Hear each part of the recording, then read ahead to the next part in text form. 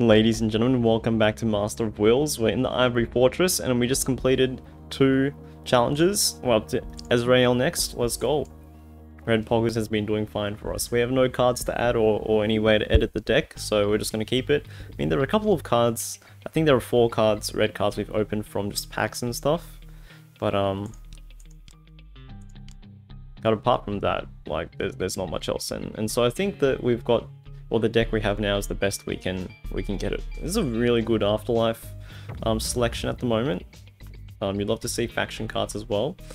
Definitely not going to play this one. We could play the other ones though. But opponent is going first. They do give us this and that as well. Oh no, that's black.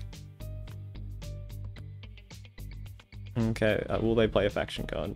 Played Dharma. They get to move some cards to their side.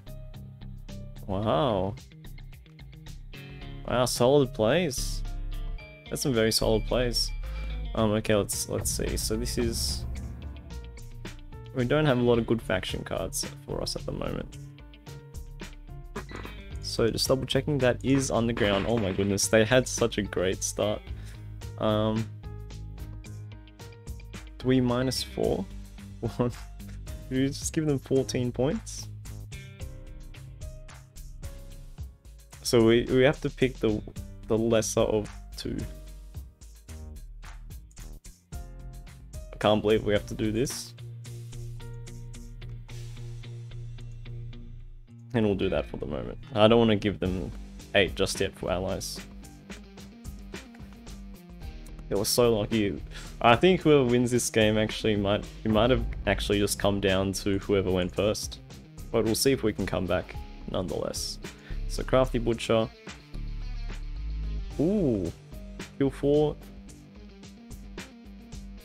Um, Epic Flood is pretty bad. Kill 4 neutral area cards, draw 2 random afterlife if drawn. Oh, these two are pretty bad. Well, let's go Divinity neutral area. We don't want to give them any factions.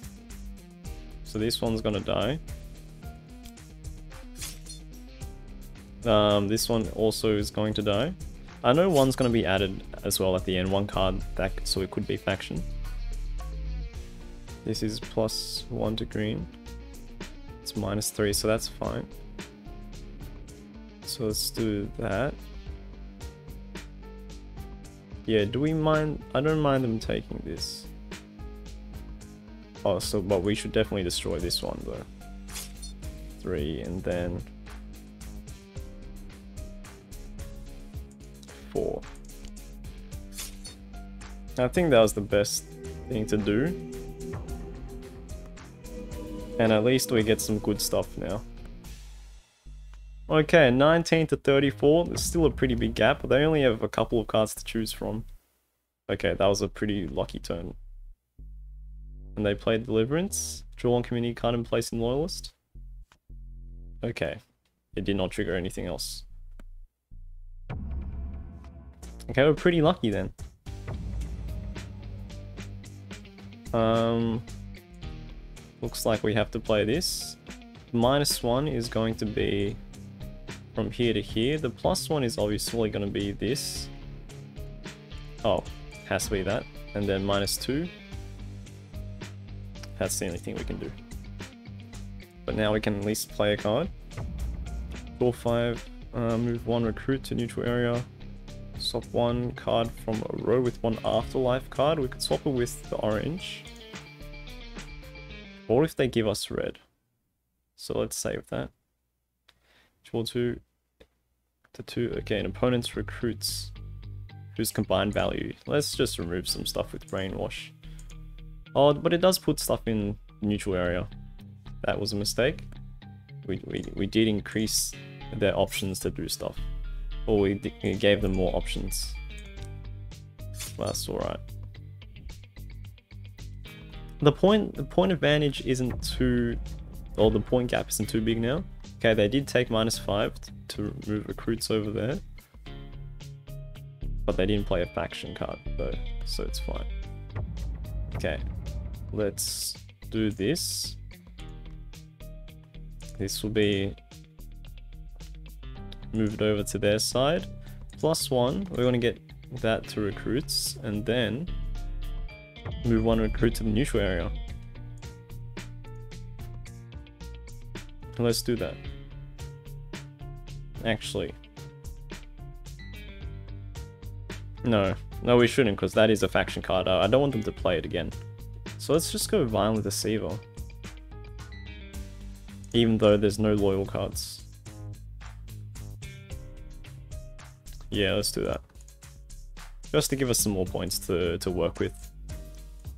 But I don't want to give them our opponent any chance to play a faction card. That's another four point. That's pretty bad. That's, that's the the three low. We got the three lowest. Amazing. This, they really, the, game really doesn't want us to win this one. Appreciate that though. Okay, and there, there is one faction card over here. Okay, well that's pretty sad. Um, is there another faction card? No? Oh, there, there's this one. This is actually fine. So plus one, minus two, plus one. Kill and restore. What's this? Kill one, recruit. Yeah, let's do that. And then we can take out the nine cost one. Okay, we're in the lead now. We're actually in the lead, boys. Place one random afterlife. No, we should do this and move this to the um, to this area. In case they play the 10, which minuses one green, at least we get this. Oh no, they probably won't. They won't give that one to us though, but at least we get this actually. I think that was better. Okay, so they're gonna move stuff over to our side. Thank you very much. Thank you very much.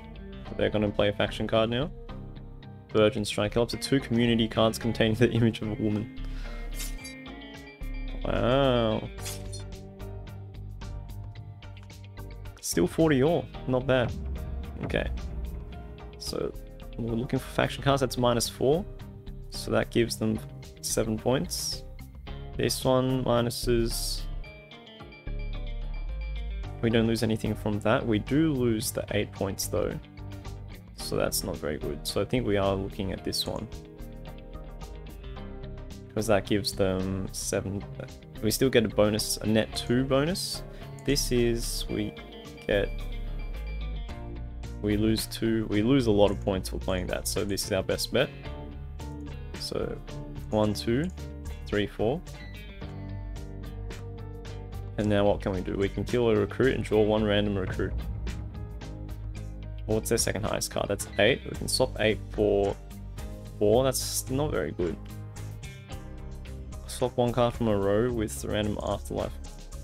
No, with one afterlife card. So let's um kill his 9 point Azrael's 9 point recruit because that's pretty high. And then we have the chance of getting that as well. We got it back, hey! It's pretty good, pretty good. Okay, there's one faction card, yep, he's just gonna say. There's a chance he plays that. They'll give this round one over to us though, which is quite nice. Okay, and then we want to play this one. Um, draw one random afterlife card to recruits. Card. Hopefully it's odd. If it's odd, okay, he gets the plus one. Oh, oh, that gets the plus two, dang. This, this is very tight. We're looking for removal. Looking for some removal. This is the only faction card we can play. Going to minus one like that. Going a minus one like this. They want a plus one. Like this. Because I don't know if we can get that 10. Uh, I actually don't know. Don't like... We just don't have a lot of good cards at the moment. Swap opponent's second highest card. 10. With 8, that's still not very good. So maybe we should have kept it there, then we could have stopped it for the 3. Yeah, that was a misplay. I think we have to start playing some... Um, we have to start adding some power to our side. Please hit. Okay, that's three points at least. That's nine points, which is pretty big. 15 points. Okay, we're back in. We're back in the game. Okay, we, so you're saying there's a chance, and they don't even have any faction cards either. They get that out. Oh, they get that out. Okay. That's so even though. I think we should play this one, so we can plus secure the 15. The minus one isn't bad. Moves an orange. Then we can swap the orange actually for our three points. Black, we can give that to them, and green, we can give them. Yeah, let's do that. So orange, we can move it. So it doesn't matter. Yeah, because it's just give and take. It's still still gonna be there anyway. Um, then minus one, you can have that, and you can have that. But now we can play. I think we go right hand man, and we swap the three. We swap the ten with our three points. Okay. Oh, and we get we get two points as well. Okay. This is tight, man. This is extremely tight. It was tight from turn one. As long as the, there's only a couple of faction cards, so they can't really do much. And to win, all you have to do is play faction cards. So the fact that they didn't play any is great for us. Don't mind playing this. Anything that adds brown as well and minuses green is also pretty good. But that does give them some points. So for the minus 2, they can keep that. For plus 1, oh, we got to get that out of here, 100%. And then we just move the minus 1 there. And we have one more turn to make a really big play. Choose two loyalists and place it into recruits, and then they get highest value, then they get the 11 back. But 8 plus 7 is 15, so it could be pretty good. Draw two random afterlife cards. That's pretty small. We could swap his 8 for a 4. Um, choose two loyalists. And these only go to recruits as well. So they could just move it out. And then they keep the 11 points.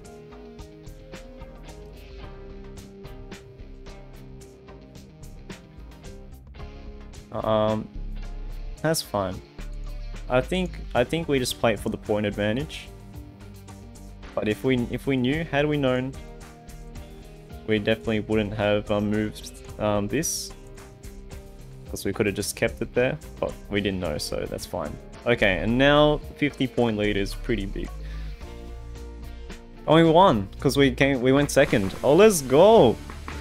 Oh, that was so close, man. That was so close. Look at this, look at this overview. They were ahead until like the middle of the game. That's and even then we didn't have um that much of an advantage. Would you love to see it? Let's let's keep going. And next we're going against the Max Schelling. Red Polk is okay, it's a bit it's hard now. It's getting it's I'm feeling the AI difficulty. The Kermis Battle Ring. Okay, third eye you love to see. I wanted um I wanted some targeted removal. But Black Mirror is um kinda okay. When it works, it works. And drop the three random afterlife cards. What was in the afterlife? Five and six. That's fine. Okay, who's going first? Um, we could. Okay, the opponent wants to go first. They're going to give us some nice stuff. What will they play? What will they play? Trench coat. Draw one community card to your loyalists. Randomly change community color of all cards on opponent's side. Move all opponent cards that match. Okay. What? There's no faction cards? We're playing strictly for points right now. If we're playing strictly for points, what are we looking for? We're looking for plus two blue so we can secure that. If not, we want to We're just looking for value. What gives us value? This one gives us value. Because that just passes blue and there's no downside to that. Let's do it. Um, let's get that out of here. And that's that's one turn. this is one turn got 11 points. This is the saddest turn ever. No fact. Oh, there's one faction card now since it's in the pool. Oh, that's really good though. Because it only minuses red. It gets put in recruits though, so maybe not the best. So I think we do this. So at least we get to do this. And then we get to play. Choose one afterlife. Still nothing good. The three random. Place them in the original place. Draw one community card. Let's see if we can hit Black Mirror on Grey. Oh my goodness, that's Black Mirroring Brown. There's a lot. that's really good. that's really good because there are a lot of um minus twos now. So we actually we can there's a lot of minus two browns, so they're all gonna come to our side. So they gave us 18 points in exchange for 12. Which is actually really good for us. Um, we're definitely gonna nocturne this so what else can we do? We can just do plus one. Yeah, let's just plus one and then secure one, two, and three like that. And then we can nocturne. Oh, that's pretty good though. What? Oh, because we didn't play a faction card, obviously. Oops. Okay, we'll just save it for the nocturne. Okay. Okay, you love to see this this is the only card we'll be able to play. Because we're looking for the Nocturne plays. Oh, and that's gold as well. So we're going... One... Okay, we'll just give it to him. And then that's only really minus one. Now we can Nocturne. I don't want an inside job just because like, even though it's random, we could just get the one point card. So it's better to just get this and grab, put it straight into allies. And we don't want to give our opponent anything. Okay, this one, this game is a lot easier than our previous one. Okay, we can definitely inside job this. Minus 3 blue as well isn't the worst. But there's also this faction card, which is minus 3 and plus 1 black. There's no black, unfortunately. So we will have to minus 3 blue. But it only gets moved to loyalists. That will let us... Um, yeah, I think we do inside job. If we hit 11, that's amazing. But if we hit 8 as well, it's still... 8 is not bad by any means. Foggy. Let's go. Okay, opponent turn. They have one faction card they can play, but they did not choose to play it. So that gets... They picked up those points. They move this out. Okay. Oh, and we have another. You love to see it. You love to see the faction cards, man. Okay, so we'll get this minus 3, so it's only minus 1, but then we get to send this all the way to allies. So we have so many secure points, which you love to see. Um, kill one recruit. That's pretty high value recruit, so I don't mind doing that. Draw one community card and place in your recruits. That's quite high value. Okay, let's do it. Let's kill and restore on the 8 point.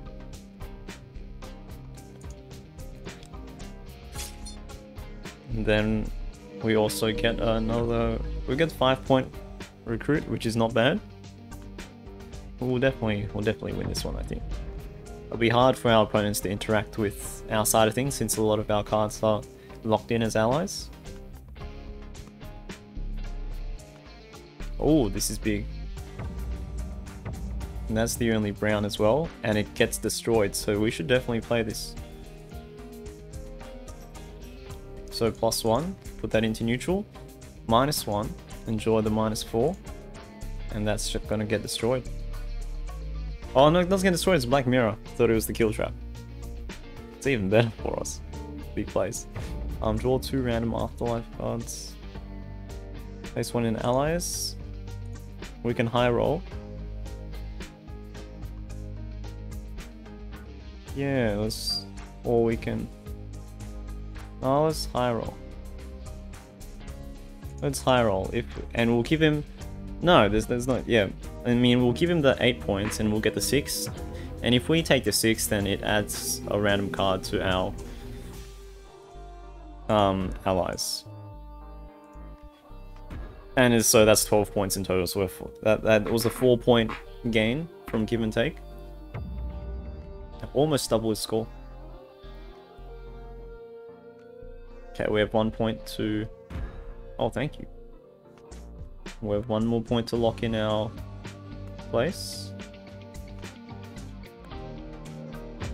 Um, anything that can plus, that can add just a whole bunch of reds is good for us. If not, I guess we'll just settle for something like this. Well, there's no brown, but we can move the minus one. Just give him one point. We can also move the minus four there. Then plus one gray. Let's do that. So plus one gray. Minus three. I guess we do give him a couple points, but that's fine. Move one recruit to neutral area.